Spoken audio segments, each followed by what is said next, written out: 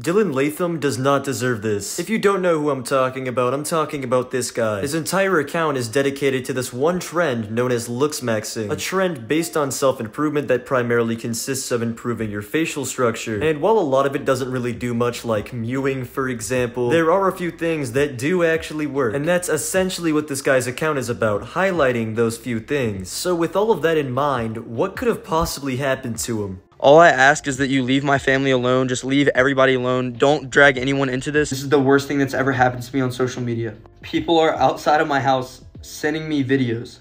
I'm not even home, but this is affecting my family. People are sending me death threats. People are at both of my parent, my grandparents and my parents' house. This is not a joke. Please stop. Yeah, not what I was expecting either. The guy literally just makes free to watch content on how to improve yourself, and his entire family getting doxxed is what he gets in return.